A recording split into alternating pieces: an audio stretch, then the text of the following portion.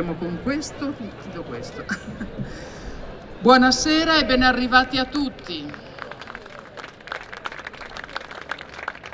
Siete proprio bravi ad essere qui con questo venticello, ma la piazza lo merita. Il, tempo, il, il tema di questo incontro lo merita e soprattutto lo meritano Padre Paolo e la dottoressa Anna Maria Testa. Anna Maria. Allora, il tema è il corpo tra comunicazione e manipolazione. E concludiamo il festival con un tema un po' importante. In questi giorni abbiamo parlato della bellezza in diversi modi e maniere e ora andiamo a toccare quella che è la percezione di bellezza su di noi sugli strumenti che utilizziamo, su come la percepiamo, la cerchiamo, forse su come a volte ci spaventa l'essere lontani da dei canoni di bellezza o ci fa bene. Quella di questa sera hanno detto che non vuole essere una tavola rotonda, non vuole essere, vuole essere una chiacchierata.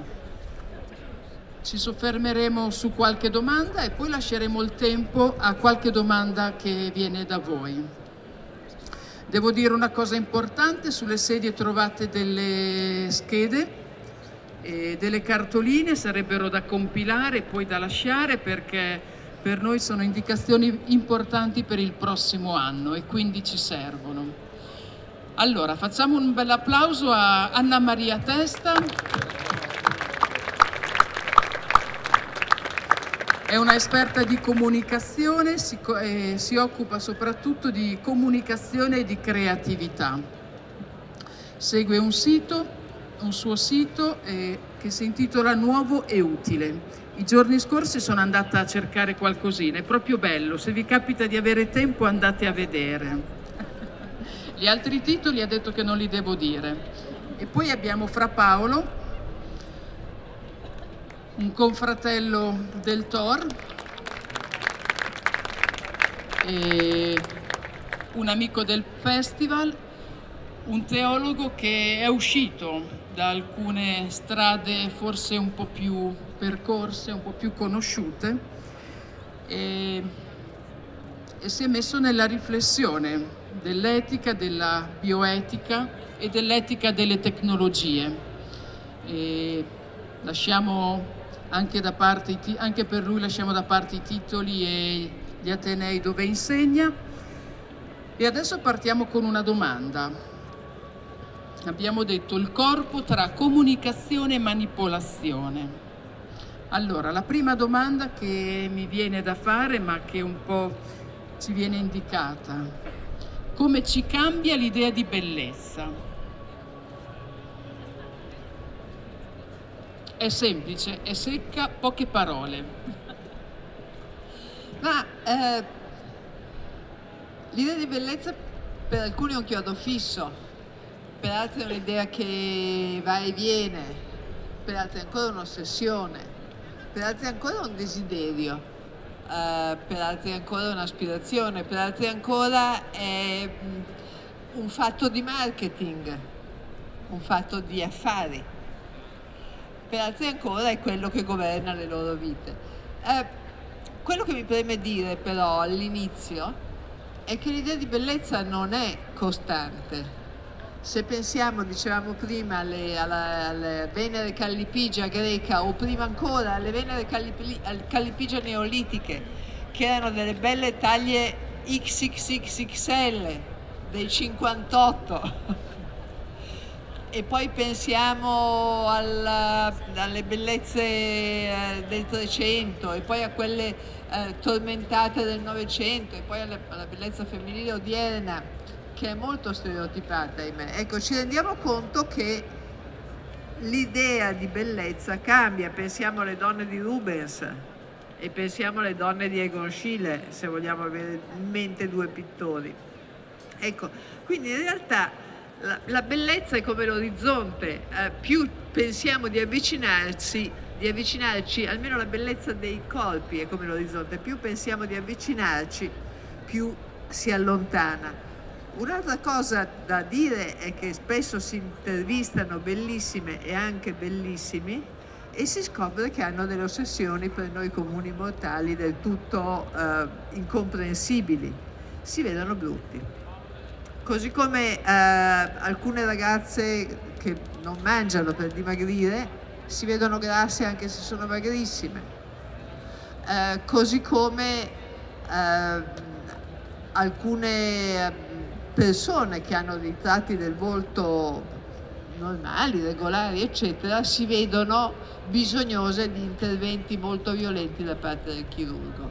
E la cosa curiosa è che spesso lo fanno perché vengono male nei selfie.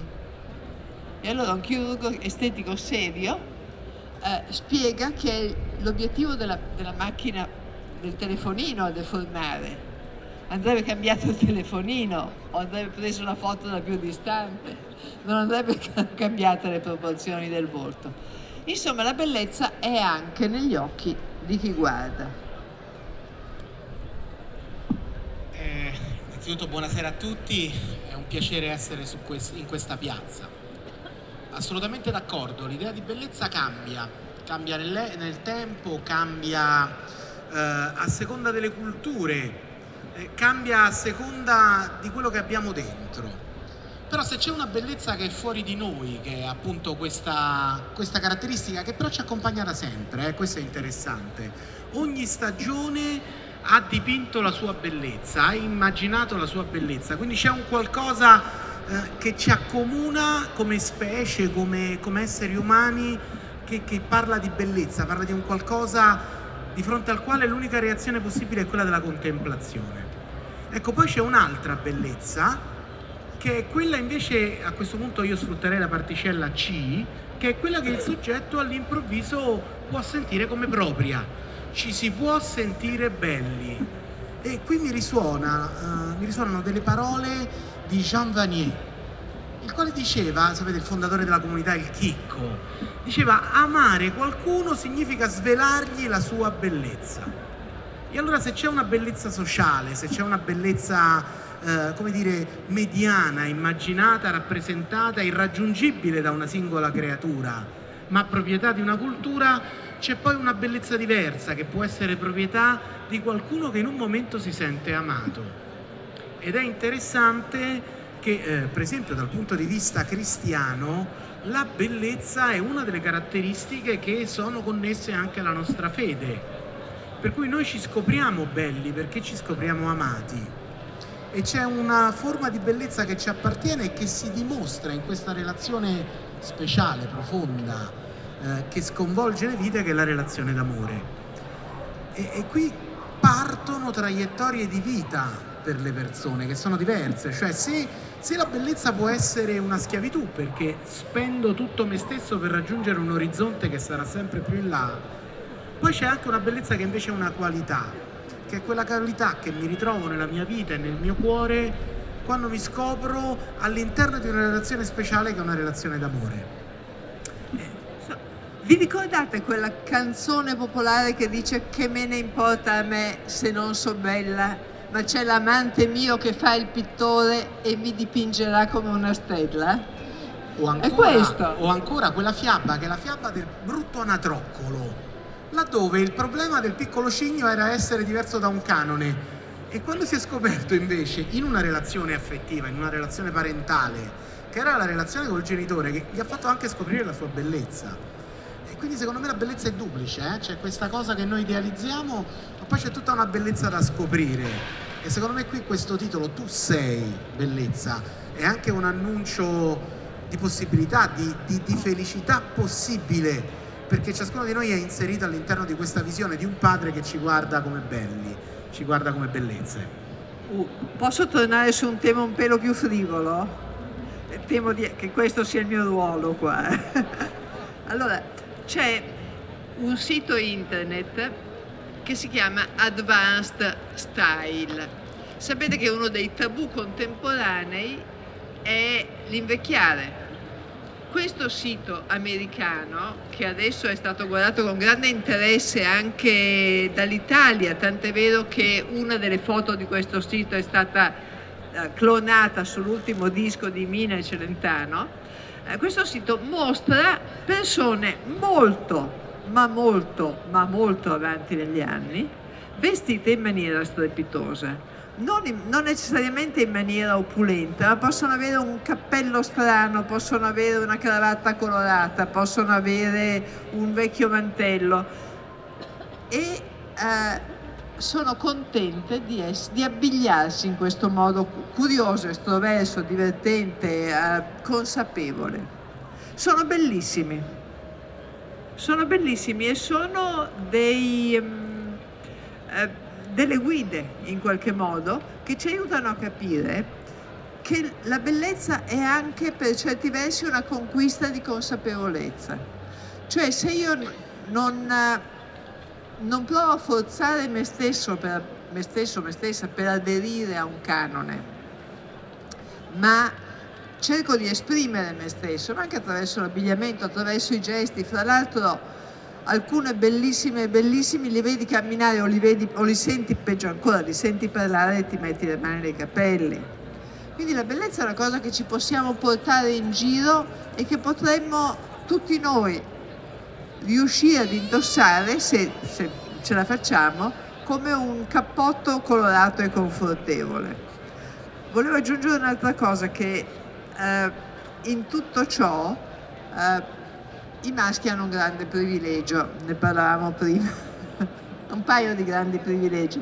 Il primo è che hanno una varietà di modelli di bellezza molto superiori di quelli di cui disponiamo noi donne, perché ciascuna epoca ha il suo archetipo di bellezza femminile invece ne recepisce molte di più di bellezza maschile.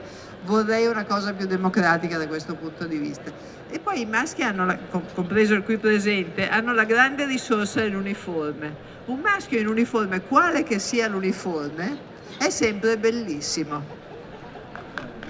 Beh, io non appartengo al canone della brezza fluente e neanche della tartaruga, forse rovesciata, ma eh, mi colpisce questa cosa perché diciamo, questa apertura al mondo del digitale eh, cosa fa il digitale? Il digitale fluidifica quelle che sono le nostre immagini.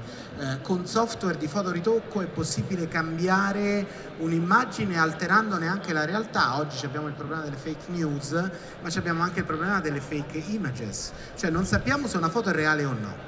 E c'è una campagna che è partita eh, negli Stati Uniti ma che si sta diffondendo tantissimo che vorrebbe che alcuni tipi di immagini, eh, come accade sui pacchetti di sigarette, riportassero la dicitura che quelle immagini sono state foto ritoccate al computer.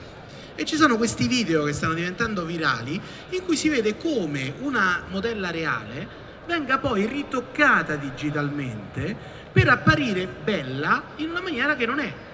Quindi quel corpo che noi ammiriamo, quella bellezza idealizzata che produciamo, non solo non è mai esistita, ma mai sarà possibile farla esistere.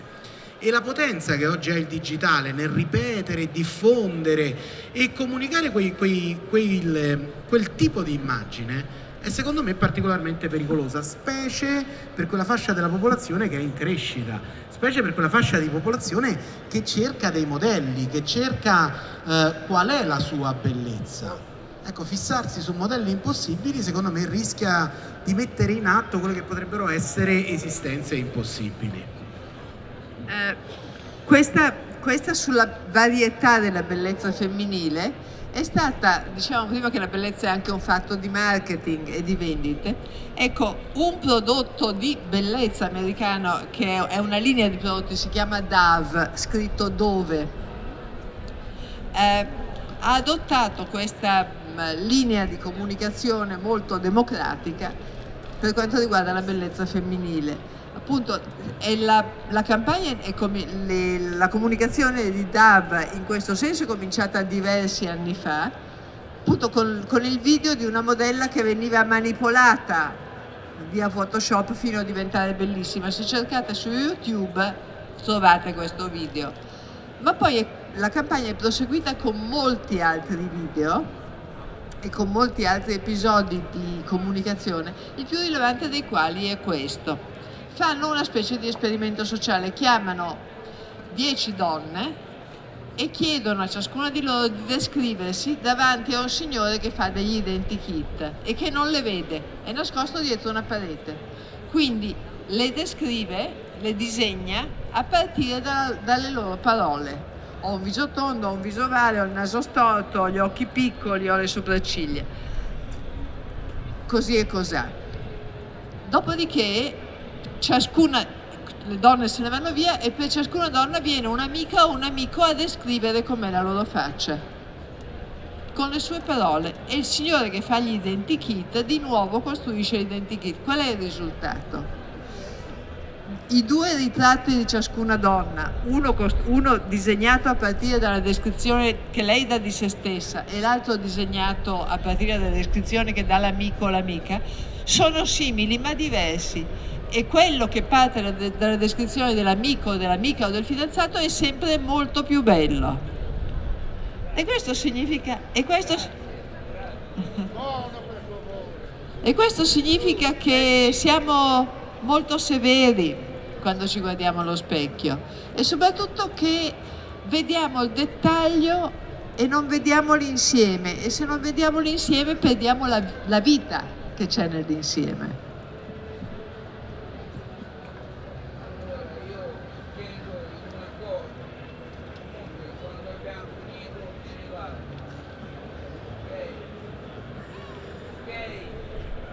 Grazie.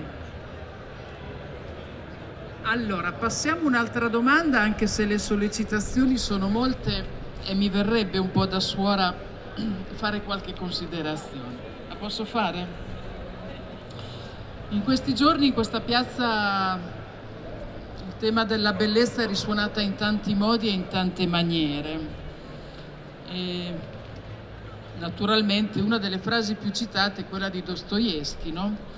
La bellezza salverà il mondo. O come qualcuno ha tradotto la bellezza ha già salvato il mondo. E quindi un po' la sensazione che la bellezza sia quel filo che quando ti crolla tutto da sotto i piedi e prima o poi succede che qualcosa che ti viene che va via la terra da sotto i piedi perché la vita questo lo porta rimanga quel filo l'unico filo di, di una sensazione di qualcosa di bello. Cioè la bellezza non viene mai a meno nel corso della vita. E San Francesco ci, ci ha raccontato come nel momento in cui è riuscito ad abbracciare la sua bruttezza, ha, sua, ha iniziato ad incontrare la sua bellezza.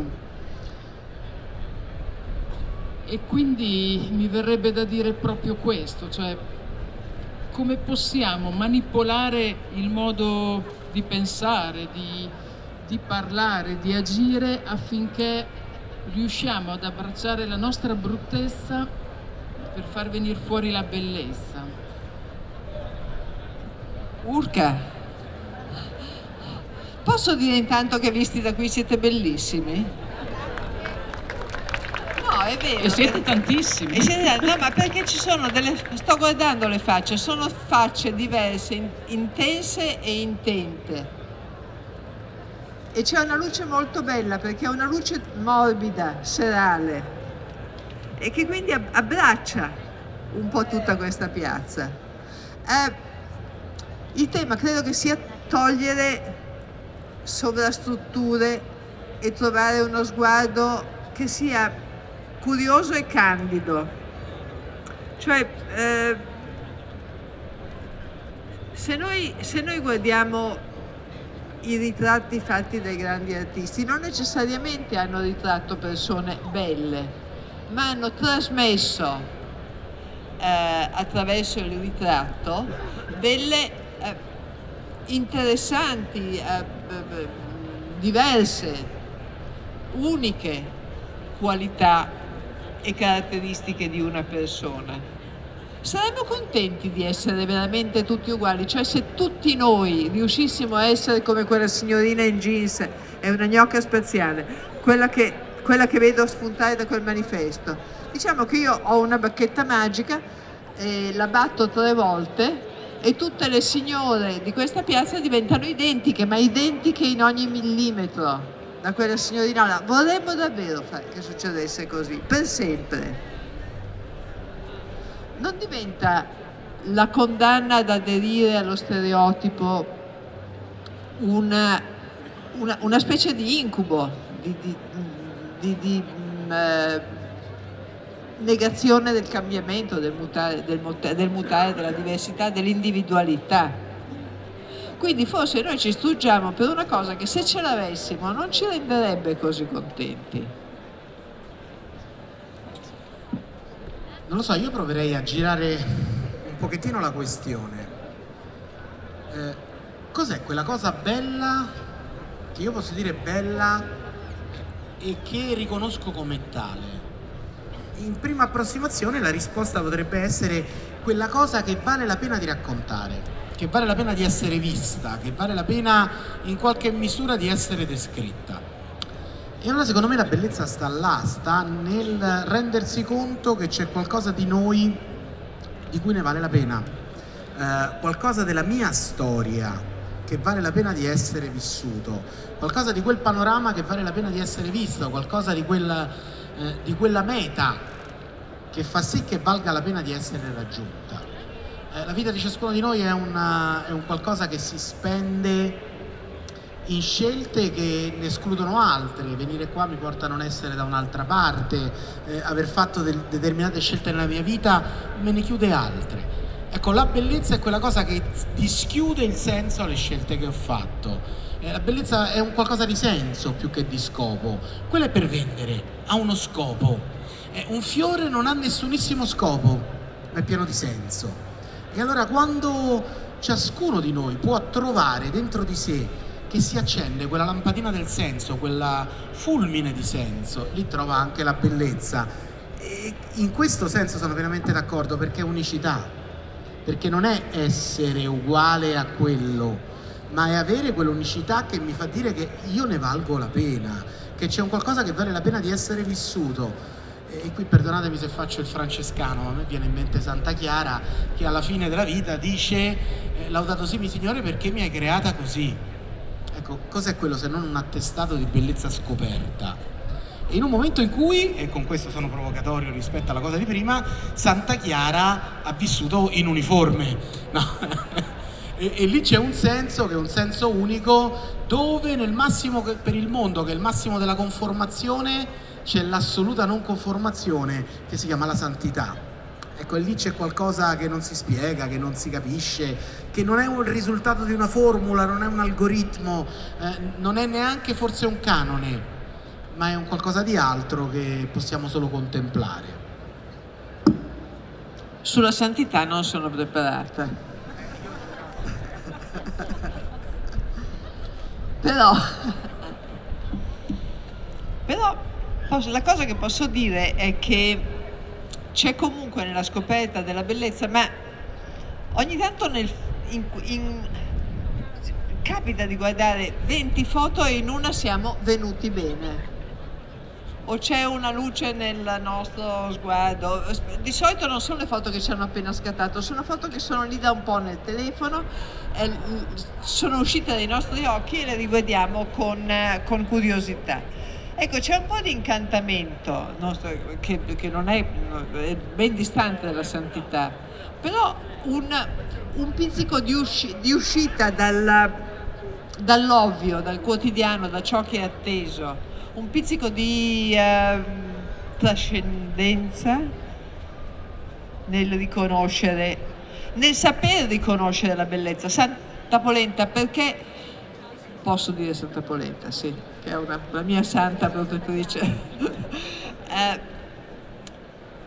quando uno riesce a riconoscere la bellezza e si allena a riconoscere la bellezza e riesce a riconoscerla anche, ed è questa una sfida che tutti noi potremmo accogliere, riesce a riconoscerla nei luoghi, nelle facce, nei colpi, nei, nelle situazioni non così ovvie.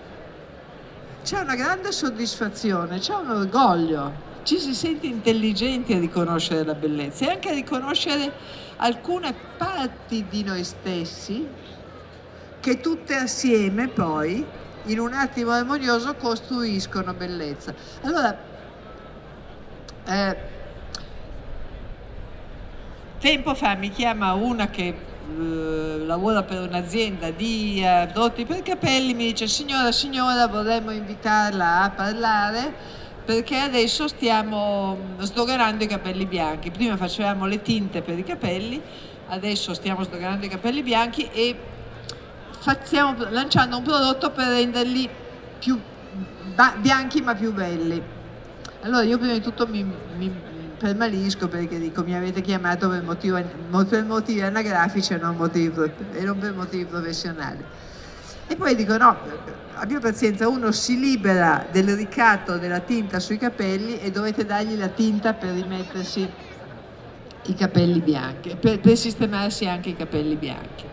Ecco, perché sto, sto, sto raccontando questo aneddoto? Perché non dobbiamo farci scippare eh, la nostra voglia di essere così come siamo, la, voglia, la nostra voglia di sperimentare altri modi. Adesso viviamo in un mondo in cui veramente tanto di quello che ci circonda è marketing e può essere un po' soffocante vivere in un mondo di questo genere. Uno deve ritagliarsi delle nicchie, delle nicchie di autonomia, anche delle nicchie di, di humor, perché un grande modo per gestire il tema del non sono mai abbastanza bello è trattarlo con un pelino di humor.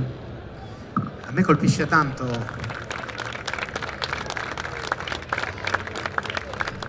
questa è una cosa che sull'humor, eh, sullo humor il Papa insiste tantissimo. Quindi, eh, no, però a me colpisce tanto questo discorso dello sguardo, eh, perché a me viene in mente come, come, tutta la letteratura greca chiamava il povero, no? la prosopon, colui al quale è tolto lo sguardo.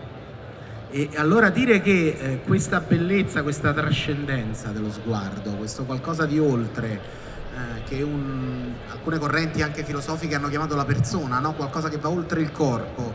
Eh, persona era il nome della maschera dietro al quale risuonava una voce, c'era qualcosa di oltre. Ecco, togliere all'altro questa dignità dello sguardo, togliergli lo sguardo, togliergli dignità e renderlo povero e togliergli qualcosa di unico. E forse i pericoli che abbiamo detto di quella pressione sociale del marketing, di un mondo che vuole vendere canoni, e forse è proprio questo, questo di togliere questa ricchezza alle persone per cui siamo tutti più poveri e abbiamo tutti bisogno di qualcosa. Eh, però forse invece abbiamo bisogno di qualcuno più che di qualcosa. Se dovessi scrivere un, un, racconto di fantascienza ambientato nel futuro, immagine, immaginerei un, uh, un, futuro molto lontano, mi auguro, e forse che non arriverà mai, mi auguro ancora di più, in cui tutti i corpi sono omologati. E allora uno va dall'estetista per farsi fare il naso, per farsi stortare un po' il naso, o dal chirurgo estetico per farsi stortare un po' il naso, per farsi fare un segno sulla faccia per essere diverso, diverso dagli altri. Il tatuaggio in tutto questo non è un po' di questo, cioè in un mondo di corpi già in parte omologati, questo bisogno profondo che c'è di dire qualcosa di diverso con un tatuaggio. E questo, questo, è un bel fatto perché io distinguerei fra tatuaggi consapevoli, cioè so cosa mi sto tatuando ho deciso di farlo eh, perché c'è un motivo profondo. Cioè, in alcuni ambiti sociali i tatuaggi hanno una ragione forte. Per esempio, se andate in Giappone e avete un tatuaggio, non potete entrare in una, in una stazione termale perché i tatuaggi fanno parte della Yakuza, la mafia giapponese, per cui anche se avete un innocentissimo tatuaggio italiano, siete tagliati fuori. Quindi dovete scegliere fra andare in un centro termale giapponese, è un'esperienza interessante, o tatuarvi, questa è la prima cosa. Eh, in Russia molti, molti tatuaggi sono storie criminali, addirittura leggevo che i poliziotti più esperti leggono la storia di un criminale spogliandolo e guardando che cosa si è tatuato, riescono a capire quanti ne ha ammazzati, quanti ne ha fatti fuori, quanti anni ha fatto di galera, a che eh, gruppo di criminali appartiene, eccetera. La stessa cosa per molte gang metropolitane. Um, in, eh, non chiedetevi come mai sappia di tatuaggi, sono curiosa, sono andata a leggermi delle cose. Uh, in, um, eh, in Inghilterra i tatuaggi erano tipici del, dei marinai, delle classi più umili, di, di, quelli che avevano girato per mare, qualche volta fatti, si erano fatti anche un passaggio nelle patrie galere, e delle classi, delle classi più alte, cioè c'è questo strano legame fra eh, highbrow e lowbrow, fra classi elevate, i nobili, e classi umili, il popolo, che taglia completamente la classe media, la borghesia, che è già stato rilevato per esempio da, da Virginia Woolf, ed entrambe le classi condividevano la passione sfegatata per i tatuaggi. Da noi i tatuaggi sono arrivati da pochi anni, eh, alcuni sono bellissimi, mi chiedo sempre eh, se un ragazzo, una ragazza che si tatua a 20 anni si è, si è domandato come apparirà a 70 o 80 con quei tatuaggi altri tatuaggi sono un po' strani, non tutti vengono fatti in maniera consapevole. Leggevo in un'intervista, non, non, sono tatuata, eh, anche se ho avuto qualche volta la tentazione. Eh, leggevo un'intervista a uno dei maggiori tatuatori milanesi, uno molto noto, che raccontava per esempio che da lui è arrivato uno con un tipico tatuaggio da marinaio, due colombe sul petto e lui gli ha chiesto ah ma sei gay? e lui ha detto no perché è anche un po' risentito, un maschione tutto muscoloso. Le due colombe sul petto sono il tipico tatuaggio dei marinai gay accasati. Se c'è una colomba sola invece è uno che sta cercando amicizie, eccetera, eccetera. Allora bisogna sapere, bisogna sapere cosa ci si tatua addosso e sapere che si sta disegnando una storia sul proprio corpo sapere che è una storia permanente, eh, sapere che forse decorarsi con gli abiti che è più semplice che decorarsi con, con l'inchiostro. Sapere soprattutto che un tatuaggio è una comunicazione fortissima, se me la faccio devo essere proprio convinto, non può essere una questione di moda, è un rito di passaggio, è comunque un rito. Eh, questo a me colpisce, eh, colpisce tanto perché se noi pensiamo a quello che è stata la storia, una volta gli schiavi venivano tatuati, era un appartenere a qualcosa e a un qualcuno, era un scriversi sulla pelle delle cose che non passano. Gli ebrei nei campi di concentramento, era, era proprio anche un deprivare la personalità di quello che è in cambio di un numero, era serializzare un qualcuno o un qualcosa. Eh, però questo apre secondo me una frontiera che è la frontiera di oggi, che è la frontiera della manipolazione, nel senso noi siamo a, a 50 anni dal 1968. Eh, nel 1968 eh, c'è stata la rivolta studentesca in Europa e negli Stati Uniti invece c'è stata la, la nascita della cultura hacker, eh, due fenomeni diversi, eh, ma due fenomeni intimamente connessi. Entrambi dicevano che il sapere non veniva dalle generazioni più anziane perché erano più anziane ma i giovani pretendevano il loro sapere, la loro responsabilità, la loro conoscenza. E oggi a 50 anni le due cose si sono messe insieme, c'è questo fenomeno nuovissimo che colpisce tantissimo, che mette insieme la cultura hacker, cioè il cercare di, da soli delle soluzioni eh, e delle conoscenze, con quella che era negli anni 60 la body art, cioè cambiare il proprio corpo per esprimere se stessi. E nasce il biohacking, cioè io metto le mani sul mio DNA, modifico me stesso in una maniera che parte dal basso, quindi ci stanno questi bioricercatori che fanno queste fiale con varie cose che uno se le inietta e per esempio aumenta la massa muscolare o cambiano alcune forme del corpo. Ecco, arriviamo a dire che il corpo è una sorta di, di, di, qualità plastica che mi è affidata, abbiamo cominciato con i tatuaggi, ma adesso arriviamo a questo, su cui io posso mettere le mani, per cui non si tratta più di scoprire la mia bellezza, si tratta di produrre un qualcosa come se fondo quello che fossi è uscito male. No? Eh, questo, questo, fenomeno culturale a me incuriosisce tanto, da leggerlo anche un po' con, con quelle categorie della critica culturale, un po' no? tipo scuola di Francoforte, cose di questo tipo. Ma ci sono, ci sono anche quelli che si mettono dei micro, microchips sotto, sotto, la pelle, per esempio, eh, per poter fare delle cose. Eh, abbiamo tutto il sistema delle protesi che sta diventando enorme e amplissimo. No, molti di noi usano protesi, gli occhiali sono delle protesi. Uh, sì, gli, gli, occhiali sono delle protesi, le dentiere per fortuna sono delle protesi, uh, eh? i pacemaker sono delle, delle, protesi, certo, ma adesso abbiamo, pensa, pensate a Bebevio, abbiamo protesi che sostituiscono in maniera super efficiente arti mancanti, ma non solo mimano le prestazioni degli arti umani, ma le migliorano. Cioè il problema di alcuni corridori che corrono con eh, le gambe di titanio è che vanno più veloci di quelli che corrono con le gambe normali. Avremo delle visioni aumentate. I Google Glasses, gli occhiali di Google sono stati un po' un fallimento, ma non, non, non, non possiamo pensare che tutto ciò finirà. Avremo probabilmente fra 10 anni, 20 anni, mentre le automobili si guideranno da sole, si porteranno in giro e noi ci annoieremo, avremo degli occhiali per entrare dentro mondi virtuali.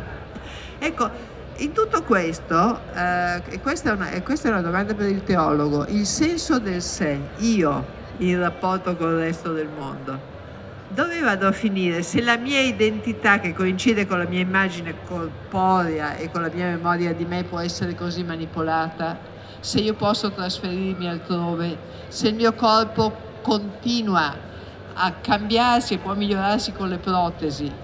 E quale parte di me continua a essere in relazione col tutto, ammesso che, che possa esserlo? Questa è una domanda pericolosa, eh, perché io l'anno scorso ho fatto una conferenza solo su questo qui al Festival Francescano, quindi riparto, no scherzi a parte. Allora, il, il punto è che eh, l'uomo non è una cosa statica, siamo una cosa dinamica e c'è un qualcosa di noi che, che, che cresce, già come siamo fatti fisicamente, siamo un divenire. E il problema però di fronte a queste capacità della tecnica che intervengono sul nostro divenire, si parla in termini tecnici dell'enhancement, cioè non più farmaci che servono o protesi che servono a recuperare condizioni perse, ma abbiamo la possibilità di andare oltre il normale. Possiamo prendere delle pillole e non scordare più, possiamo prendere delle pillole e non avere bisogno di dormire, possiamo correre di più. Ecco, non è tanto il problema che siamo in grado di fare queste cose, ma che possiamo relazionarci a queste cose come se fosse una nuova forma di religione. Eh, eh, la religione è sempre stata caratterizzata, il pensiero religioso, qualunque sia la religione, dal destino ultimo dell'uomo. Il cristianesimo parla di risurrezione.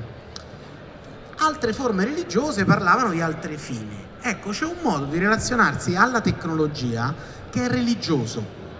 Per cui sarà la tecnologia a risolvere il mio problema della morte e c'è tutta una visione che ha questa matrice religiosa che si chiama il post-umano che vede la risoluzione dei problemi dell'uomo in funzione della tecnologia.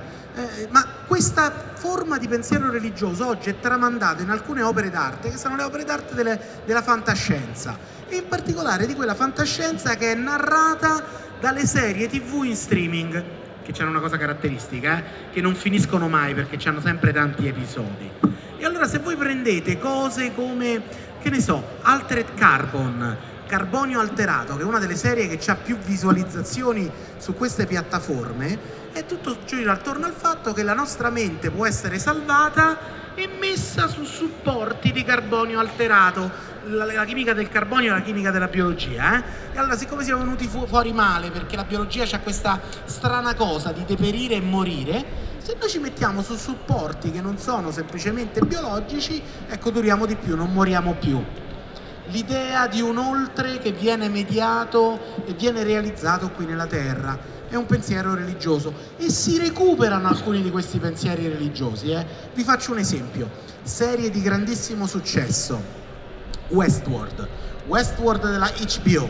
HBO è questo grande canale televisivo americano. Westworld, il sottotitolo dove tutto è possibile. È un parco giochi a tema West, dove gli attori principali sono dei robot dotati di intelligenza artificiale. Il sottotitolo è dove tutto è possibile perché sono lo sceriffo, il bandito, la prostituta del saloon, sono dei robot.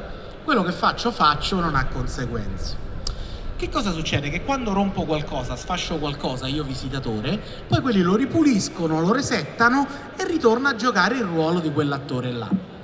Però che cosa accade? Che reset dopo reset questi eh, robot dotati di intelligenza artificiale mantengono delle cose, insomma, per farla breve, alla fine si ribellano al eh, scienziato di turno che era Hopkins, che invece di, di, di fare l'attore per un grande film di Hollywood fa l'attore per una serie televisiva e già questo sarebbe da analizzare, e quindi si ribellano. Con calma. C'è un giardino, c'è una creatura e la creatura si ribella al suo creatore mi sembra una storia già sentita.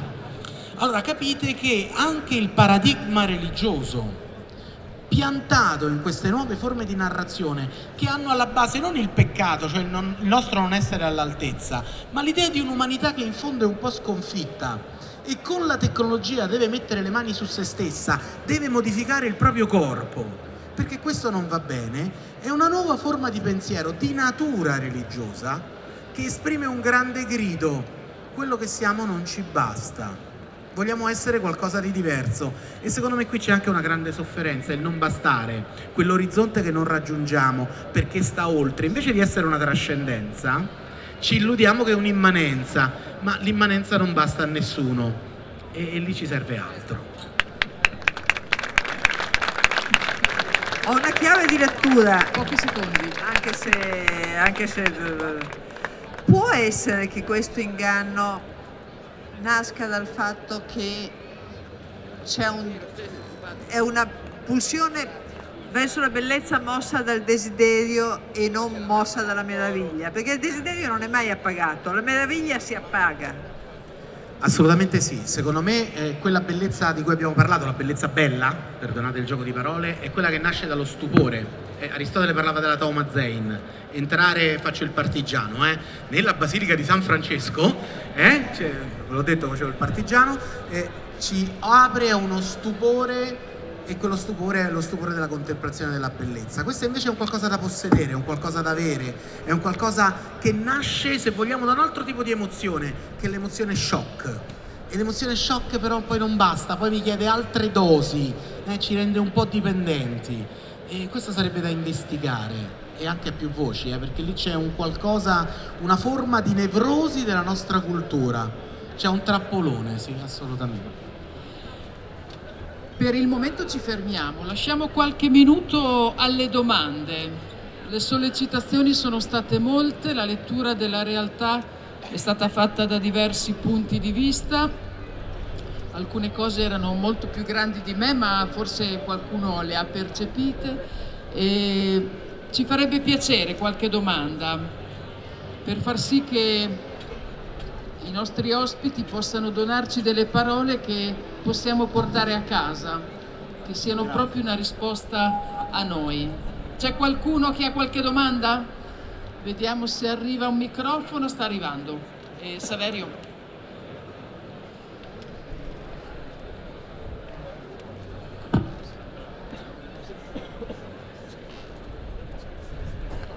Eh, grazie, buonasera. Una, una suggestione, una sottolineatura. Bellezza e tempo. Il festival quest'anno è Tu sei bellezza. Noi tutti sappiamo che il tempo spesso lo percepiamo come il cronos, il tempo dell'orologio, ma c'è anche un altro tempo che è il kairos, il tempo opportuno. Ecco, forse il dilemma vero delle persone è che il tempo è percepito come qualcosa che scorre, inarrestabile, e quindi è qualcosa da combattere. Se noi riusciamo a percepire il tempo come Kairos, il tempo opportuno da vivere, ecco che allora il tempo non è più il nemico da combattere, ma è il dono che ho, la pienezza di vita di vivere, viverla intensamente. E quindi se da una parte il Cronos è una bellezza che inesorabilmente passa e finisce, col Kairos io posso vivere una bellezza che cresce, che coltivo perché nel tempo divento persona piena.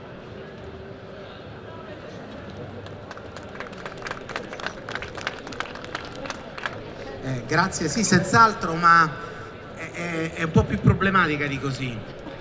Perché se noi pensiamo alla più grande delle sofferenze che ci possono venire in mente, è un Kairos anche quello, ma è un Kairos che speriamo che passi presto.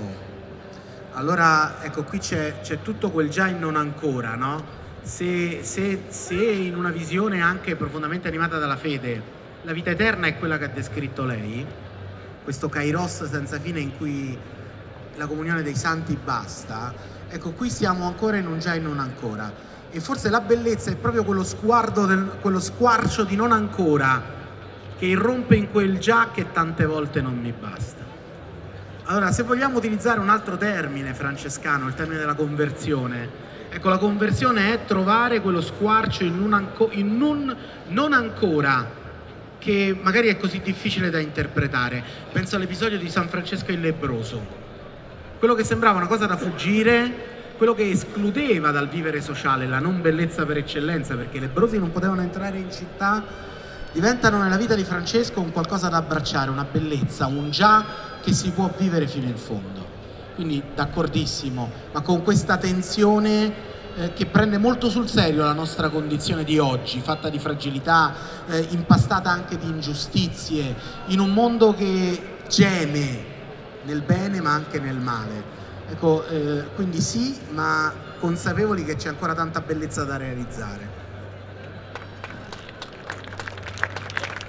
Posso aggiungere, a proposito di tempo e bellezza, invece un altro aneddoto super frivolo la squisita scrittrice di gialli Agatha Christie scopre che il marito la tradisce, sparisce, ritorna, lo pianta. Passa del tempo e si sposa, una, si trova un altro marito di oltre un decennio, più un decennio più giovane di lei e dice ineffabile, fa l'archeologo, è magnifico, più invecchio più gli piaccio.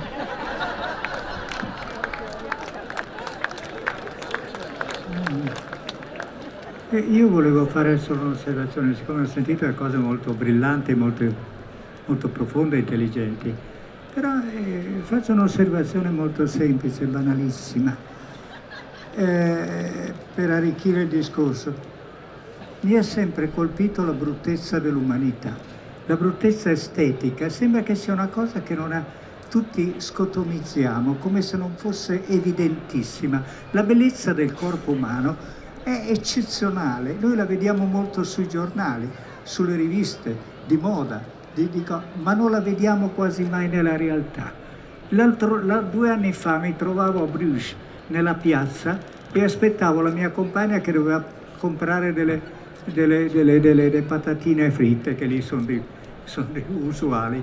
E mentre guardavo, guardavo tutti questi turisti, la piazza piena di turisti da tutte le parti del mondo, e non riuscivo a vedere una persona, né bambini, né giovani, né vecchi che fossero degni di essere guardati per l'estetica. Quindi noi siamo, una, siamo tra gli animali, perché se mi rivolgo invece agli animali e vado nella foresta e a me piace molto la natura, trovo che gli animali sono meravigliosi, sembrano veramente lo stampo di Dio, mentre noi sembriamo la maledizione di Dio, anche esteticamente, per non dire poi, non dire poi eh, che oltre alla bellezza strettamente estetica, questa spesso estetica ma si manifesta anche come bruttezza che sembra quasi principiare quella interiore, perché le persone anche che possono essere tecnicamente brutte spesso sono molto simpatiche, carine, rivelano un'anima buona, un'anima piacevole.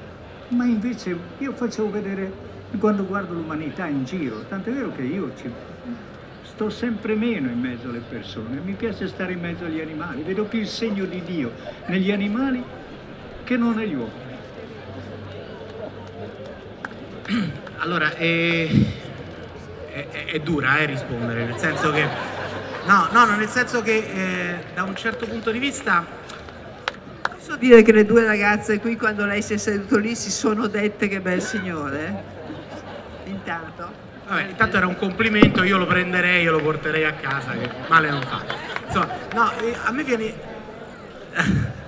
viene in mente, eh, è vero, eh, l'uomo è il meno dotato, Galen in un suo saggio sull'antropologia, eh, la, di noi antropologhi, lui diceva che siamo l'essere che corre meno veloce degli altri, che, eh, che, che, che ha meno possibilità degli altri, però poi siamo quelli che abbiamo cambiato di più il mondo.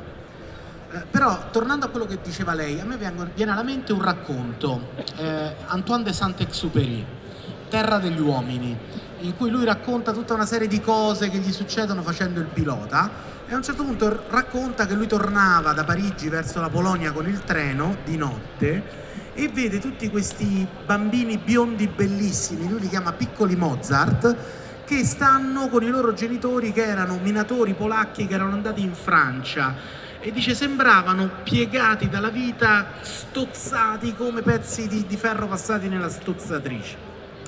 E lui diceva qui vedendo i loro figli, questi piccoli angeli biondi, piccoli Mozart, uno si chiede com'è possibile che da grande vengano così. E si diceva, concludendo, c'è bisogno di coltivare quella bellezza, c'è bisogno di giardinieri. Allora io la metterei così, ciascuno di noi porta dentro un seme di bellezza che va coltivato, che va coltivato in un contesto che è un contesto comunitario.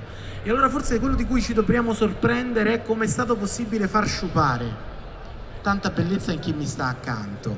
E forse ci dobbiamo sentire anche un po' responsabili per tutta quella bellezza del mondo che non riusciamo a far esprimere.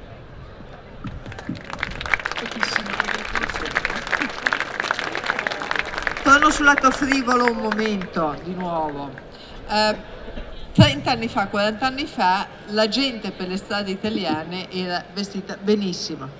Tuttora, spesso, se, vai, se, uno va all'estero, capisce gli italiani da, perché sono vestiti meglio degli altri, ma sulle spiagge hanno dei costumi migliori di quelli degli altri. Il problema dei turisti è che sono una strana classe che si, disu che si disumanizza per trascinarsi in mezzo alle città.